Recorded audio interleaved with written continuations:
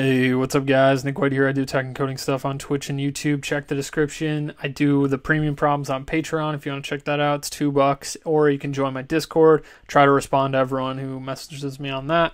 Uh, we're going to be doing longest repeating character replacement today. It's a medium problem. And uh, yeah, let's get into it. It's pretty similar to max consecutive ones, which, or max, uh, whatever the repeating ones we just did last night. Given a string S that consists of only English uppercase letters, uppercase English letters, you can perform at most K operations on that string. Okay, so we get a string of the string we're given is all uppercase English letters. Uh, we can only perform another, we get K as well, so we're getting an integer K, and we can perform K operations on the string. Okay. In one operation, you can choose any character of the string and change it to any other uppercase English character. I don't know why it's uppercase, but yeah, okay. So we can loop through. We have K operations we can do, and an operation involves we could change any of these letters to any other character. So we could change this A to capital Z, capital C, whatever capital letter we want, and we could do that twice to any characters. And what do we want to find then? Find the length of the longest substring containing all repeating letters you can get after performing the operations. Okay, so the longest substring containing only one letter. So only you know the they all the whole substring has to be consisting of the same letter, and it's the longest one in this, and we can do two changes to any letter. Okay, uh, we can do k changes to any letter. So we could change in this case we have you know a b a b, so we could change a or a we could change both of these A's to B's, and then they're all B's. So that would be four. Or we could change both the B's to A's, and then it's all A's, and we could get four still. Let's look at one more example.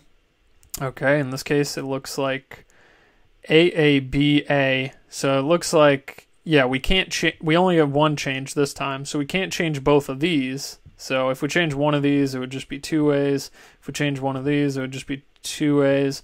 But if we change this to an A, we get four A's in a row. So that would be four again. Okay, great.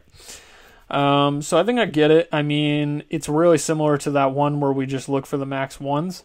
The idea is basically if you look at this, you know, you want to find a window where I mean, it's just kind of obvious that it's a sliding window a little bit. It's not perfectly obvious when you look at it, but if you think about it, problems that want you to find a substring or a subarray with certain attributes, especially like repeating attributes, and then you like look at it and the math kind of comes out to like you're looking at it and it's like okay, I need to find something that it looks like this. It has, you know, k most changes like that's going to be just like looking at it, I kind of can tell.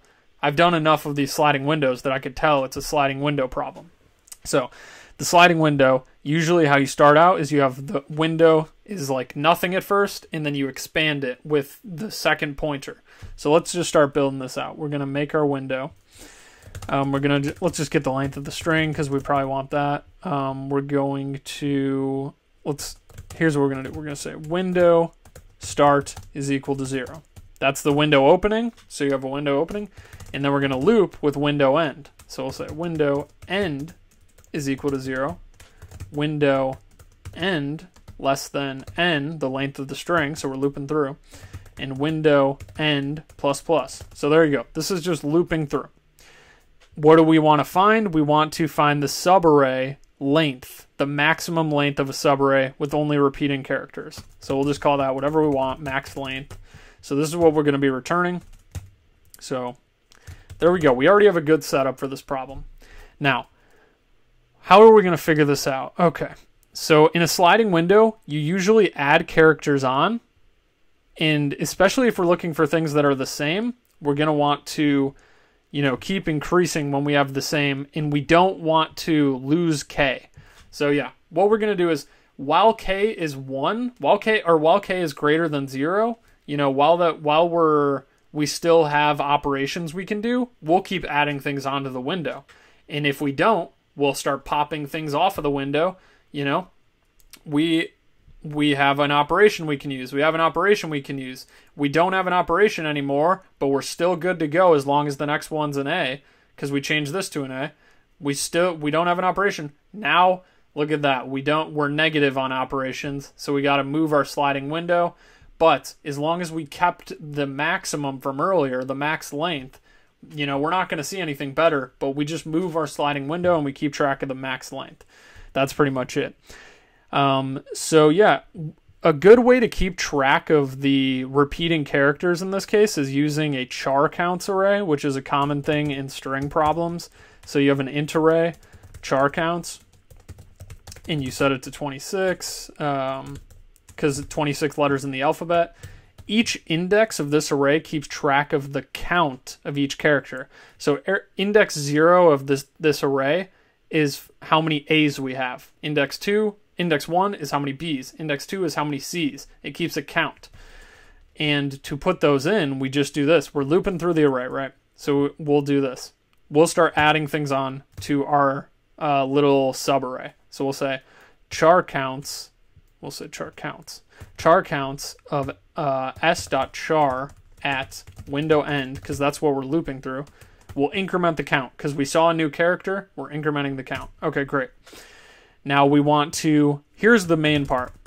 We want to keep track of as well a max count. This max count is going to keep track of the number of the repeating character that we're looking for because we need to pick a character that we want to be repeating.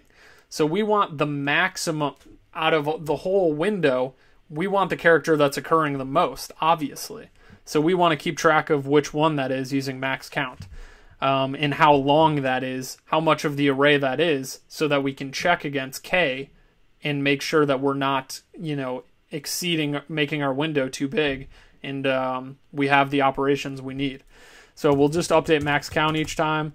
So max count, we'll just keep uh, math.max of um, the current max count and uh, the count of the character that we just saw and incremented, right? Obviously. So you can do whatever you want with this. This is just incrementing the index of the array. Uh, you actually have to do this. Sorry about that. You have to do this. So um, this gives you the index because this will be a character. So if you subtract uppercase A, that'll give you the correct index. So we actually have to do that here as well. And it might be easier for you to just say like current char count or something like that. Make a variable and just set it to this just to make it a little bit easier on yourselves. And then it looks a little bit nicer maybe. So there you go.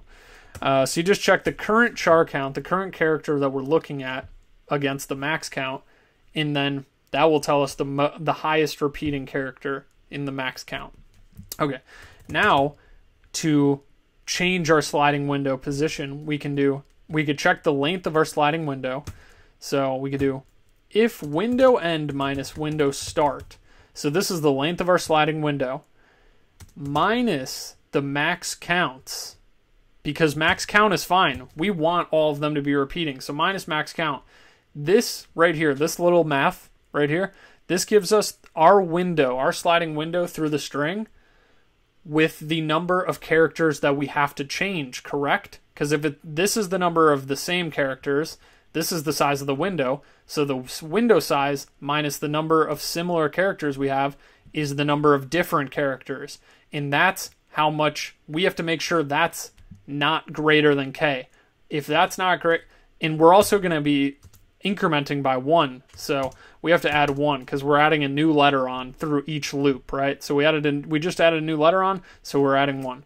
Now, if that is greater than k, then that means we don't have those operations. We're out of operations. So what we want to do in this case is first of all, we don't want to increment this. We're going to say we no no no, we want to pop a character off the front of our window, right?